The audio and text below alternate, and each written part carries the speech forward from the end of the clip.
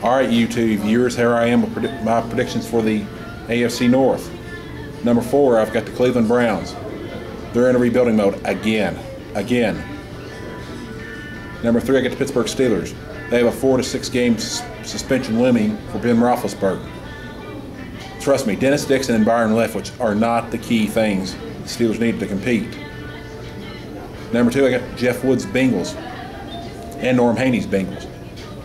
They've got T.O. They've got Chad. They got Carson Palmer. They're they're loaded. That's why I have them as a wild card in the AFC. But I have winning the division, the Ravens. The Ravens got Anquan Boldin from the Cardinals. That gives them a threat at wide receiver to go along with a promising young quarterback in Joe Flacco.